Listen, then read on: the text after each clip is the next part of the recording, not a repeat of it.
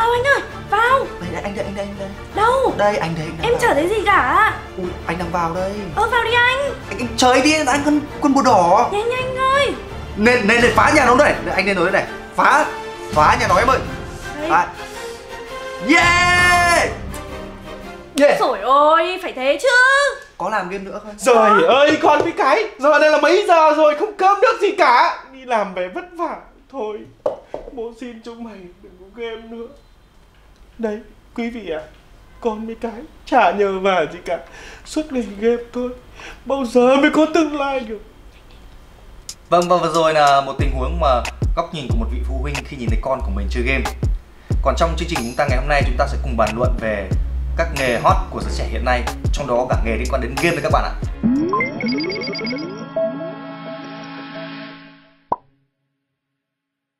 Chào mừng quý vị và các bạn đã quay trở lại với Redneck Corner, góc thư giãn, chương trình được thực hiện bởi VinFun TV.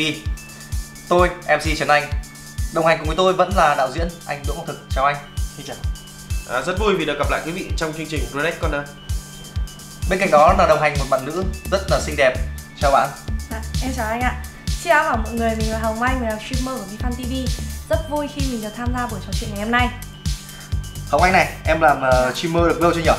Dạ em làm được một năm rồi ạ thì em thấy cái nghề streamer này như thế nào? ờ, Cái nghề streamer này thì ban đầu thì uh, khi mà em tham gia streamer ấy ạ Thì uh, được uh, không không được sự ủng hộ của gia đình cho lắm. Bởi vì uh, bố mẹ em sợ em ảnh hưởng đến việc học. Đấy, bởi vì mình suốt ngày mình chơi game mà xong mình nói chuyện với mọi người với cả sợ bị tự kỷ nữa Vì suốt ngày ngồi nói chuyện trước màn hình ấy. Mấy cả sau khi một thời gian em làm thì cuối cùng bố mẹ em cũng đã công nhận cái ngành streamer này. Anh thực ạ, à, bởi vì sao mà tôi muốn hỏi Hồng Anh những câu hỏi như vậy? Bởi vì đây cũng là một cái ngành, một cái nghề rất hot của giới trẻ hiện nay. Đó. Thì anh nghĩ về nghĩ về cái cái nghề này như thế nào? À, về nghề streamer ấy thì tôi nghĩ là ờ, trong cái thời buổi hiện nay có rất nhiều các bạn trẻ đang theo đuổi rất nhiều những cái nghề lĩnh vực mới thì streamer là một trong nghề mà có được ờ, ờ, rất nhiều fan hâm mộ và cũng nổi tiếng mà chúng ta không cần phải trở thành diễn viên chuyên nghiệp hay là phải lên truyền hình thậm chí là có một số bạn còn thu nhập rất là khủng nữa. Đấy. Và có rất nhiều riêng streamer lại có rất nhiều các cái, cái góc ngành khác nhau. Ví dụ như là ờ, streamer game cũng là một ngành. Đấy rất một một số bạn rất nổi tiếng như là Piu Piu như là là virus ờ, vân vân đúng không ạ? Rồi ờ, streamer về bán hàng online giống như là uh, Lê Dương Bảo Lâm. Đấy, chuyên đi ờ, streamer thuê thu nhập cũng rất là khủng khiếp thì ờ, hôm nay tôi nghĩ là chúng ta cũng sẽ trao đổi sâu hơn một chút về cái ờ, một số các cái ngành nghề mới mà các bạn trẻ chúng ta sẽ ờ, theo đuổi và một số cái quan niệm của của của bản thân các bạn trẻ gia đình và xã hội về những cái nghề này Đúng rồi anh ạ. Ờ, cái mục tiêu của chúng ta ngày hôm nay ấy là để giải đáp thắc mắc cho các vị phụ huynh. Ờ, giống như cái tình huống đầu tiên mà chúng ta cùng cùng vừa cùng xem vừa rồi. Đó, thì những, những vị phụ huynh chúng ta nhiều khi không hiểu được con trẻ. Đó, khi thấy con trẻ chơi game thì nghĩ rằng là sẽ bỏ bê việc học rồi là không quan tâm đến mọi người xung quanh chỉ có biết là bản thân mình thôi. Đấy. Thì cũng giống như cái trường hợp của Hồng Anh đây thì ờ, vừa trải lòng thì là bố mẹ có vẻ là rất là lo lắng đúng không ạ? Nhưng mà về càng về sau thì ờ, chắc là em cũng đã được sự ủng hộ của gia đình đúng không? Vâng vâng Đấy. Thì khi em được ủng sự ủng hộ của gia đình như vậy rồi ấy, thì ờ, em thấy như thế nào? Ờ, thì lúc đấy ấy, thì em sẽ kiểu trong em em cảm thấy là kiểu rất vui ấy. Vì sau một thời gian cố gắng thì cuối cùng bố mẹ cũng đã công nhận cái nghề streamer của mình. Và ừm, sau khi được bố mẹ công nhận rồi thì em làm việc kiểu năng suất hơn ấy tâm huyết hơn nữa. Bởi vì hồi xưa lúc nào cũng nghĩ trong đầu là ui hôm nay mà stream này về chắc bố mẹ thì sẽ lại nói nọ kia. Lúc nào trong đầu cũng phải căng thẳng căng thẳng. Thì bây giờ mình thoải mái hơn. Lên khi lên stream với mọi người mà lúc mà em bị căng thẳng ấy em nói chuyện với mọi người nó không được tự nhiên đâu. Ý là lúc nào mình phải nghĩ à hôm nay mình nói cái gì cái gì cái gì? Thì bây giờ khi được gia đình công nhận rồi ủng hộ mình có một cái sự động lực lớn hơn lớn hơn ấy thì mình nói chuyện rất là vui vẻ với mọi người tương tác với tất cả các fan luôn. Hay là kể cả khi ra ngoài nữa thì mình cũng có sự tương tác với mọi người kiểu vui hơn ấy không bị như hồi xưa căng thẳng nữa. Bởi vì bây giờ bố mẹ đã công nhận nghề của mình rồi mà. Đó là về Hồng Anh. Ờ, anh thực nghĩ sao về uh, Piu Piu? Tôi thấy là đây là một ờ, anh rất là nhiều tài và đặc biệt là không phải là khi mà trước đây á, tôi ờ, xem cái anh này thì tôi nghĩ anh này là một người nói chuyện vớ vẩn. Tôi, là bản tôi, tôi ban đầu tôi nghĩ thôi nhưng mà càng tìm hiểu và càng uh, tiếp xúc lâu hơn với những cái uh, video của anh ấy thì tôi thấy anh này là một người cái thông tin ấy, anh này là một người đi du học bên nước ngoài về đấy và anh cũng đã tham gia một số cái chương trình ở trên uh, truyền hình thì thấy là cái kiến thức của anh này là rất là rộng và rất là giỏi. Và đặc biệt là cái ngôn ngữ của người ta nói nó rất là hoạt ngôn. Tôi thì uh, cũng uh, theo dõi uh, các streamer rất là nhiều. Và nhất anh Piu Piu này tôi rất ấn tượng rất nhiều câu nói của anh có thể là có những câu nói nó hơi trẻ trâu nó hơi xàm một tí hơi vui một tí hay là một số cái cái chương trình mà anh ấy làm ra cho các bạn trẻ như là tư vấn tâm lý tình cảm tình yêu hay là những cái phát ngôn của anh ấy hay thậm chí những cái scandal mà liên quan đến anh Piu Piu rất là nhiều. À, nhưng mà phải nói là à, điểm tiêu cực thì cũng nhiều nhưng quan trọng tôi thấy có rất nhiều điểm tích cực bởi vì uh, các vị phụ huynh luôn nghĩ rằng là đây là một cái gì đó trò rất là vớ vẩn rồi này chơi game là một cái gì đó không hay. Nhưng mà chúng ta cũng đã biết là là thế giới đã công nhận là uh, các cái game mà được gọi là e-sport tức là thể thao điện tử và nó được đánh giá là môn thể thao hạng 2 hạng 2 trong cái các cái phân bậc về thể thao ờ. hạng thể thao vua là môn thể thao bóng đá và thể thao hạng 2 là tương đương với bóng truyền bóng rổ vân vân. Đấy thì là e-sport là được gọi là bộ môn thể thao hạng 2 thậm chí là được tổ chức những cái giải quốc tế rất lớn. Ví dụ như là tổ chức tại uh, trung tâm quốc gia giống như giải của liên minh huyền thoại vừa rồi. Thì anh uh, Piu Piu này tôi cũng đã thấy là anh ấy có chơi liên minh huyền thoại. Uh, trước đây là anh chơi Dota xong là chơi liên minh huyền thoại rồi sau này là chơi cả PUBG rồi anh cũng chơi rất là nhiều. Và anh cũng rất là thành công thậm chí là lên truyền hình rồi các cái các cái chương trình talk show nữa. Đấy và bản thân tôi thì cũng là một người chơi game. Thì không biết hai bạn có chơi game không nhỉ? À, tôi có. Anh thì thường chơi game gì tôi chỉ chơi cái game gọi là Candy Crush thôi gọi là cái trò gọi là xếp kẹo thôi. À, xếp hình. Vâng. Đấy là trò kiểu uh, giải trí ấy. em thì thường hay chơi game gì? À như em stream thì em hay chơi liên quân ạ. À, liên quân. Với cả thi thoảng em có giao lưu với cả mọi người qua PUBG PUBG đúng không? À. đấy. thế liên quân em có cái biệt danh gì trong, trong game liên quân không? Ờ thì nickname em đấy em à, để nickname là Hồng Anh ạ để cho mọi người dễ tìm kiếm in game và giao lưu với mình ấy. À. tôi thì uh, tôi cũng chơi một số game trước đây thời đi học thì cũng chơi nhiều game online lắm. Đấy, như là võ lâm này, thiên long này, vân vân vân, đúng không ạ? Và gần đây, khoảng độ mấy năm gần đây thì tôi có theo một bộ môn gọi là thể thao điện tử, đó là liên minh huyền thoại. Tôi cũng luyện tập mỗi ngày để mà tôi thấy thực sự nó có rất nhiều lợi ích, làm cho đầu óc của mình nó nhanh nhạy và tư duy nó nhanh đấy và áp dụng vào trong công việc rất là tốt. Đấy, tinh thần đồng đội đội nhóm chúng ta có thể áp dụng được bên ngoài. Thế nên là cái quan niệm của của mỗi chúng ta đối với một cái cái cái công việc hay một cái game nào đó thì nó cũng rất là quan trọng. Khi chúng ta coi nó là một phương tiện giải trí khi chúng ta coi nó là bộ môn thể thao thì hai góc nhìn khác nhau. Còn đối với các phụ huynh giống như trong cái tiểu phẩm vừa đầu là gì ạ? Coi đấy là một cái gì đó nỗi kinh hoàng đối với con mình. Nhưng thực ra tôi thấy nó không không hoàn toàn như vậy. Đúng không ạ? Chúng ta có thể là ờ, nhờ anh điểm qua một số các cái ờ, người ờ, chơi game hay một số các cái nghề mới mà mà từ những cái game thủ hoàn toàn thành công được không ạ? Để chúng ta cùng trao đổi và chia sẻ. Vâng đây anh ạ. À, game ấy thì trải xuất từ những cái năm về trước ấy có rất nhiều người nổi tiếng. Điển hình ví dụ như là game uh, AOE người ta gọi là cái game uh, đế chế. Đế chế đúng không chế. thì là có chim sẻ đi nắng anh ạ. Ôi rồi hồi tuyệt vời đấy. Đúng anh đấy rất là nổi tiếng luôn. Bây giờ là đi quảng cáo. Đúng. Có thu nhập đưa về cho bố mẹ cho gia đình. Thế ngày xưa mà người, mà người ta nghĩ cái anh này suốt ngày chơi game thì uh, tương lai ở đâu? Nó mù mịt đúng không ạ? Ví dụ như là game PUBG bây giờ thì có ví dụ như là RIP 113 này hay là ngân sát thủ này. Đấy. đấy là về PC còn về mobile thì uh, ví dụ như là một số game thủ mà nổi tiếng ví dụ như là Tuấn HC hay là Taka chẳng hạn. Đấy, đấy cũng là vâng. Thì tôi thấy là cái lượng fan mà theo dõi những cái người này những cái anh này mà gọi là đưa lên cái video ở trên YouTube thì cái lượng fan và lượng xem cực nhiều luôn. Nhiều. Đấy.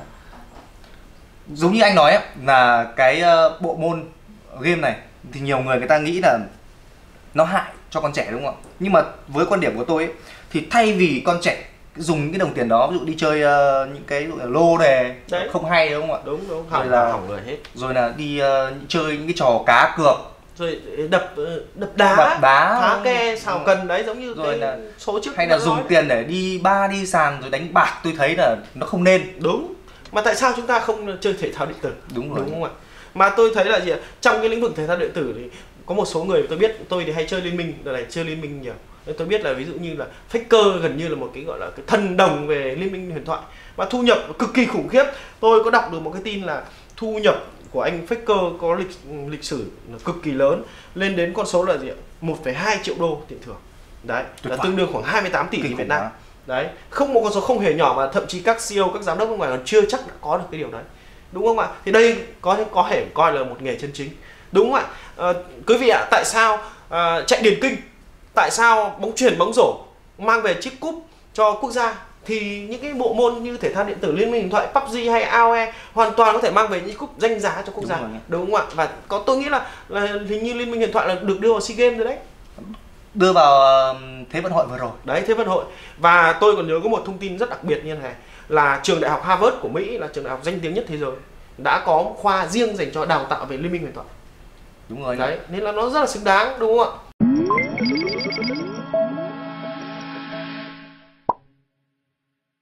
cho nên là những ai mà chưa biết về cái ờ, bộ môn game này những cái bậc phụ huynh mà chưa nắm rõ được cái này thì chúng ta nên tìm hiểu sâu hơn tìm hiểu kỹ hơn.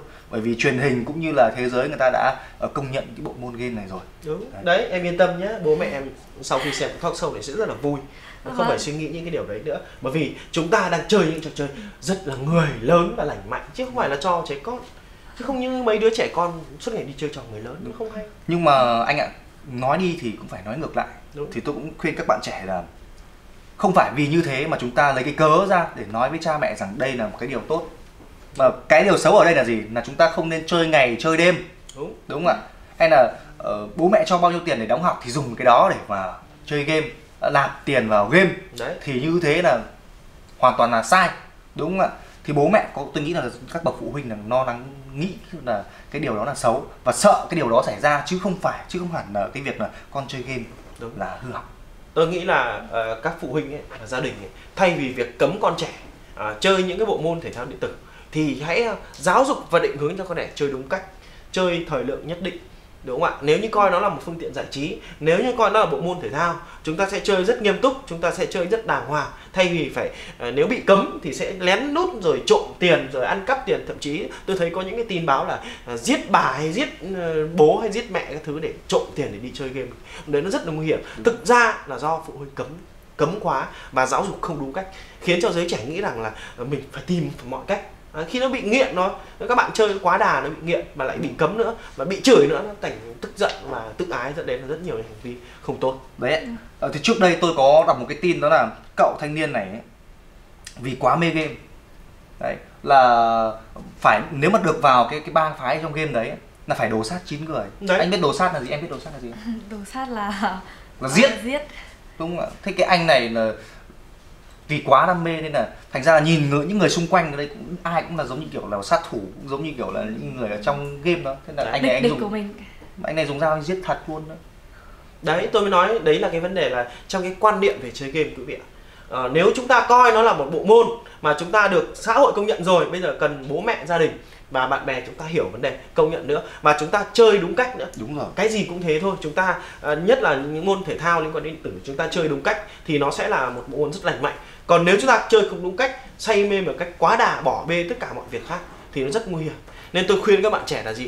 Chơi đúng lúc đúng nơi đúng chỗ. Và khi chơi thì chơi hết mình bình tĩnh xử lý. Còn khi mà đã làm việc thì tập trung vào công việc. Đừng có lúc việc lại game mà lúc game lại việc. Đấy như thế nó sẽ mất uy tín. Tức Đúng là mình chơi là chơi và làm là làm đúng ạ? đúng. Đấy chúng ta có thể chuyển sang à, à, một số cái nghề tiếp theo cũng liên quan đến online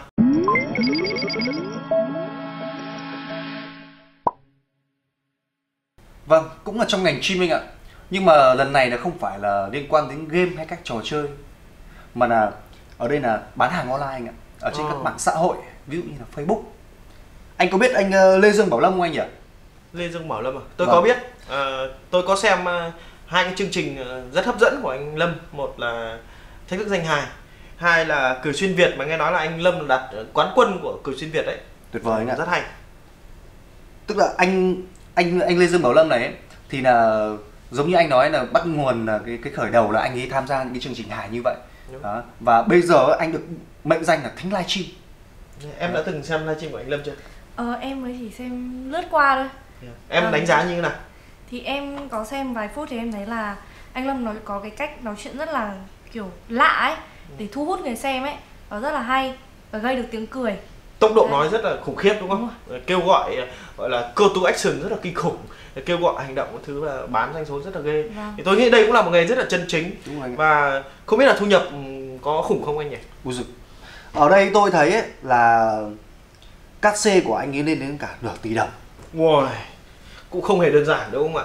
Đấy, nhiều khi chúng ta cứ nghĩ phải bằng cấp ra trường xin việc nhưng đấy lại chi bán hàng online khi mà nổi tiếng làm KOL rồi thì hoàn toàn có những mức thu nhập rất là khủng, À. cực cực, cực kỳ khủng khiếp. Ờ, tôi thấy là ờ, ra thế như anh này cũng không phải là, là là kém nhưng mà anh vẫn chăm chỉ đi làm. Đó và để mà để mà thu hút khách của anh ấy thì anh ấy không ngại để là dùng ở đây. Anh không ngại là giả thành người con gái. Ồ. hay là phát ngôn những cái phát ngôn gây sốc để mà thu hút. Nhưng mà tôi thấy là anh này là hài văn minh. À, giống như cái anh chân thành đó là hài sạch sẽ đấy. đúng. Đấy không hề có cái gì gọi là là là gọi là chiêu trò gì cả. Đúng tôi có ấn tượng cực kỳ ấn tượng với một ờ, cái bài hát mà anh anh Lâm hát với một anh nào đấy tôi không nhớ chính xác nhưng mà vào cái mùa lũ Sài Gòn ờ, năm 2016 là anh hát cái bài mà Sài Gòn bị lập ấy, ngập ấy. Đấy nó nó hay lắm. Đấy nếu mà mà mà các bạn đã từng nghe thì bài đấy rất là tuyệt vời luôn. Đấy bài anh ấy cũng đóng giả con gái hát bài rất là tuyệt vời luôn. Đây này tôi thấy là ở đây á anh ấy chỉ hoạt động nghệ thuật có 4 năm thôi nhưng Ờ. bây giờ đã làm trong tay một cái khối lượng tài sản rất lớn và đã xây được nhà cho bố mẹ đấy. Đấy tuyệt vời. Đấy là tấm gương mà chúng ta đáng phải học tập và noi theo đúng không ạ? Đấy. Vâng. còn ờ, ở đây anh ạ cũng là một cái nghề mà liên quan đến ờ, các cái mạng xã hội. Ồ. nhưng mà lần này là không không bán hàng Ồ. không chơi game mà là mang làm những cái video clip mang tính chất giải trí. Đó là các youtuber. Ồ, YouTuber. Tôi ờ, cũng được biết trên mạng bây giờ cũng nổi rất là nhiều. Em đã biết tên những YouTuber nào nổi tiếng không? Ờ, ví dụ như là Misty, này. đúng không? Ok. Virus Varus, ờ, hay là David ý. Davis Ờ, Anh? Ờ, tôi thì tôi ờ, xem ví dụ những cái nhân vật mà bạn Hồng Anh vừa nói thì lại vẫn còn liên quan đến game còn đây là anh này là anh ví dụ như là anh Nguyễn Thành Nam này. Ờ, hay đặc biệt là anh có biết bà Tân Vlog không? Ôi, chắc chắn là biết rồi Ờ, Bà Tân Vlog thì luôn nổi với những cái gì đó là siêu to khổng lồ. Đúng rồi. Đấy. Và các bạn có biết là vì sao bà Tân Vlog lại thành công? theo em. em em đoán là trông người bà bé nhưng mà bà làm cái gì bà cũng to. Với Đấy. cả bà là người đầu tiên ấy là người trung tuổi Đúng. đầu tiên Đấy. làm youtuber. Có ờ, một số cái yếu tố như sau. Mà thứ nhất là là người trung tuổi đầu tiên tạo ra một cái làn sóng về làm vlog mà thường là chúng ta từ trước giờ chỉ quan niệm là vlog là dành cho giới trẻ thôi chứ không có ai nghĩ là là, là trung tuổi đâu đúng không ạ? Thế là tạo ra một cái làn sóng cực kỳ khủng khiếp.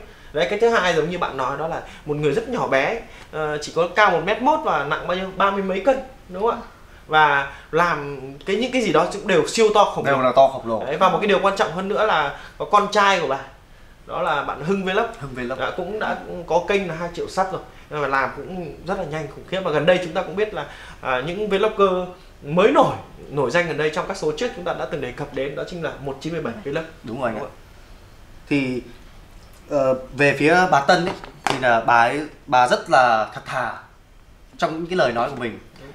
Và để mà tạo để mà tạo thêm cái sự thu hút của mọi người hơn thì bà có có đi thi ở thách thức danh hài này. Anh có biết không? Có người bí ẩn nữa luôn. Đúng rồi anh ạ. Đấy rồi rất mấy chương trình đấy nó đấy chính là một trong những hiện tượng của của của Việt Nam. Cộng đồng mạng Cộng đúng đồng không ạ đấy đấy là những tấm gương mà các bạn trẻ đáng phải học tập và nói theo làm những con đường chân chính Đúng đúng, không? Ạ sao cứ phải đi theo những con đường mà nó tà đạo là cái gì? Đập đá ăn ke là cái gì? Đúng không ạ anh có biết bây giờ một cái nghề cũng là rất hot trong giới trẻ? Đó chính là marketing. Ồ. Marketing online. Tôi cũng đang làm marketing đây. Đấy. Tôi cũng đang làm. Và ừm, tôi nghĩ rằng là trong cộng đồng bây giờ thì có rất nhiều những người nổi tiếng làm về marketing cũng rất là thành công đấy rất là khủng khiếp. Đấy tôi ờ, trong trong rất nhiều các giới khác nhau thì ờ, riêng về mảng Facebook thì tôi có biết một số anh như là anh Đôn Đinh Chu này đấy hay là anh ờ, Long Sắt này Anh trưởng một Long Sắt đấy và ờ, anh Trần Đức Quang này đấy một số các cái nhân vật làm về online cũng rất là khủng khiếp. Theo anh thì bây giờ để mà các bạn trẻ mà theo cái ngành ví dụ như là marketing online chẳng hạn thì các bạn cần chuẩn bị một tâm thế như thế nào nghĩ những gì? Tôi thì ờ, cái đầu tiên đấy tôi nghĩ là các bạn ờ, cần phải có được ờ, một cái quan niệm đúng đắn về nghề. Đấy. chúng ta có thể nói là không chỉ một nghề mà là một ngành hay được gọi là một sự nghiệp về marketing. Bởi vì là đối với tất cả các doanh nghiệp truyền thống đang kinh doanh đang trong cái giai đoạn mà chúng ta chuyển mình từ việc kinh doanh offline khi mà công nghệ 4.0 thay đổi cuộc sống người dân thì chúng ta đã chuyển sang một nghề là về kinh doanh online rất là nhiều. Đấy, vì vậy thì cái việc marketing từ offline từ uh, truyền thông từ báo chí từ uh, truyền hình nó chuyển sang các kênh như mạng xã hội như YouTube, Facebook, Google vân vân. Thì marketing đóng vai trò cực kỳ quan trọng. Nên tôi nghĩ đây là một cái con đường uh, không hề đơn giản nhưng cũng sẽ đầy tương lai và đầy thách thức cho các bạn trẻ phấn đấu. Và tôi nghĩ đấy là một cái những cái mà các bạn nên theo đuổi. Bởi vì uh, xã hội bây giờ ấy, chúng ta đều có laptop đúng không ạ? Chúng ta đều có điện thoại đúng không ạ? Mạng xã hội chúng ta tiếp xúc từng ngày một. Đấy, cho nên là để mà học được những cái ngành nghề như vậy thì không hề khó ví dụ như youtuber tôi thấy là các anh nhiều anh ờ, chỉ cần dùng một chiếc điện thoại thôi. Đúng. Ờ, giống như cả một 977 các anh ấy chỉ có mỗi cái máy tính bảng để mà quay thôi đúng không ạ? Thậm đúng. chí không biết cắt ghép không biết dựng cũng phải đi nhờ người ta thời gian để ra một video. Rất là lâu. Đúng. thời gian để ra một cái clip rất là khó nhưng mà cuối cùng là sao? Chỉ có bốn clip thôi một cái anh đã thành công như vậy. Nút vàng. Vậy thì thông qua một số cái ngành nghề mà đang hot của giới trẻ hiện nay thì anh có lời khuyên nào để cho các bạn ờ, để cho các vị khán giả hiểu hơn về cái góc nhìn các ngành nghề bây giờ. Ở đây thì chúng ta cùng ờ, nhìn nhận như thế này. Ví dụ như là bạn Hồng Anh là một người đã đang đã và đang làm streamer và bị sự phản đối của gia đình đúng không? Ừ. Bạn rất cần sự thông cảm của gia đình. Đấy, cái thứ hai nữa là uh, cái quan niệm của giới trẻ trong cái vấn đề định hướng nghề nghiệp tương lai uh, những cái ngành hoàn toàn mới ở Trung Quốc tôi thấy một cái làn sóng một cái trào lưu về làm streamer trong rất nhiều cái lĩnh vực từ bán hàng online đến livestream hay là youtuber giống như của chúng ta, họ cực kỳ thành công. Và Việt Nam mình cũng có rất nhiều các bạn đã thành công rồi. Vậy thì tại sao các bạn trẻ không học theo những người như vậy để chúng ta có được một con đường chân chính đi lên thành công? Đúng chưa cái thứ hai nữa là ờ, về streamer, về game thủ thì tôi cũng mong muốn rằng các phụ huynh ờ, có một cái góc nhìn nhận nó phóng thoáng hơn và giáo dục con cái mình đi ờ, theo một cái cách mà nó hợp lý hơn. Chơi đúng cách, đúng không ạ? Văn minh lịch sự và có văn hóa không chơi một cách quá say mê. Thay vì phụ huynh cấm thì hãy định hướng cho con mình ờ, chơi đúng cách. Đúng không ạ? Ừ. đấy. Và về góc nhìn của xã hội thì chúng ta cũng đã biết trên toàn thế giới thì game thủ hay uh, streamer hay là bán hàng online hay là marketing online đang là những cái xu thế rất lớn mà được cả xã hội cả thế giới công nhận. Được các cái sự kiện lớn liên quan đến marketing liên quan đến uh, youtuber liên quan đến uh, về uh, làm uh, game thủ hay là các cái giải game rất là lớn rồi. Vậy thì uh, các phụ huynh cũng hãy thay đổi và uh, để phù hợp với cái quan niệm của xã hội để cập nhật kịp cái thời 4.0 và định hướng cho con cái của mình có một con đường đi một tương lai đúng đắn hơn đấy là cái lời khuyên mà tôi muốn dành cho các bạn trẻ. Thế còn uh, bạn Hồng Anh thì sao? Bạn có lời nào muốn nói đến các vị khán giả không? Ờ, thì nếu như mà theo qua ngành stream của em nhá uh, và chơi game thì em muốn gửi lời đến các bậc phụ huynh đó chính là có thể uh, các bậc phụ huynh uh, hãy thoải mái hơn với con em mình là không nên gò bó con em cấm con em mình không được chơi game mà là hãy đưa ra một mốc thời gian nhất định cho con em mình trong một ngày. Ví dụ như một ngày có thể cho con em mình chơi uh, một tiếng đến hai tiếng game chẳng hạn còn lại thời gian sau thì sẽ là học và giải trí với gia đình chẳng hạn đấy. Thì như thế thì con em mình có một cái động lực có thể là bây giờ đang học đúng không? Sẽ cố gắng làm xong bài tập này nhanh và đúng để mình được ra chơi game. Chứ còn lúc nào mà cũng học học học học học học thì nó rất là không tốt. đúng rồi mà nó uh, uh, gây áp lực cho gây con áp trẻ. lực cho con trẻ ấy. nói chung là uh, các bậc phụ huynh nên cho con em mình có thời gian chơi game thoải mái uh, không phải là không phải là thoải mái là có thời gian chơi game trong một ngày để giải trí đầu óc. Và nếu như mà bạn nào mà có bậc phụ huynh uh, can ngăn cản về ngành stream thì đừng các bạn buồn. cũng đừng buồn. Mà hãy dùng cái nỗ lực của mình để chứng minh cho bố mẹ thấy đúng, là đúng ngành rồi. stream này không có cái gì sai hết. Và các bạn có thể thu xếp được thời gian để phù hợp với việc học và việc đi làm stream đấy thành công đúng không? Hãy thành công và hãy chứng minh. còn tôi uh, cũng như anh và bạn Hồng Anh uh, vừa chia sẻ. Thì tôi nghĩ là các bạn trẻ cũng nên uh, nhìn nhận đúng đoán đúng đắn cái cái cái việc mà mình chơi hay không Chính chơi. Ờ, rồi là các bậc phụ huynh ví dụ như là con trẻ của mình có chơi thì mình hãy đặt cho con trẻ một cái mục tiêu. Hay ví dụ như là tạo một cái gọi là một cái mini game. Ừ. ví dụ như là con học uh, học làm và làm đúng các, các cái bài tập ấy thì bố mẹ sẽ thưởng cho khoảng một thời gian nào đó để chơi game. Đấy, đấy là mình tặng tặng cái gọi là phần quà chứ không phải là, là, là để để nó hứng thú với việc mà nó học hơn đúng không ạ? Đấy. Đấy.